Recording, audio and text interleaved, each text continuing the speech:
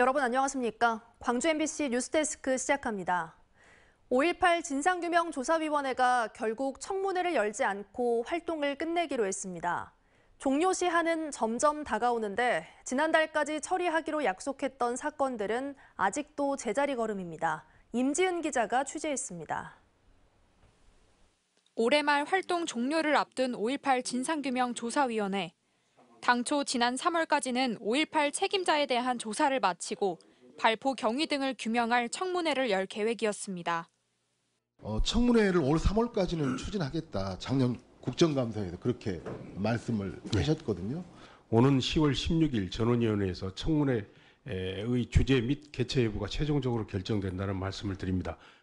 전원위원회 회의를 열고 개최 여부를 다시 논의해보겠다는 입장이었지만 찬성 3명, 반대 6명으로 결국 청문회는 없던 일이 됐습니다. 아직 처리해야 할 사건들이 산더미처럼 쌓여 있는데 청문회까지 준비하기엔 시간이 부족하다는 이유입니다. 21건의 직권 사건 중 진상 규명 결정이 난 사건은 단 한 건. 피해자들이 이의 신청을 할 수 있는 법적 기간을 고려해 신청 사건 132건은 지난달 안으로 마무리하겠다고 약속했지만 이마저도 12건밖에 처리하지 못했습니다. 최초 발포 경위, 계엄군 성폭력 사건 등 진상규명의 핵심인 직권 사건은 조사에 더 오랜 시간이 걸립니다. 더 큰 문제는 신청 사건의 상당수가 비슷한 주제의 직권 조사와 병합돼 있어 사실상 피해자들이 이의 신청을 하는 게 불가능해졌다는 겁니다.